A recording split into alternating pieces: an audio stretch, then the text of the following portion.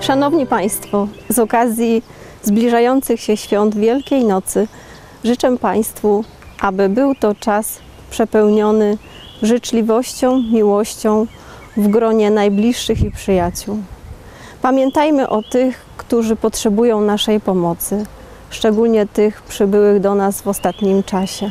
Niech zmartwychwstały Chrystus doda nam wiary, nadziei, miłości na każdy następny nadchodzący dzień.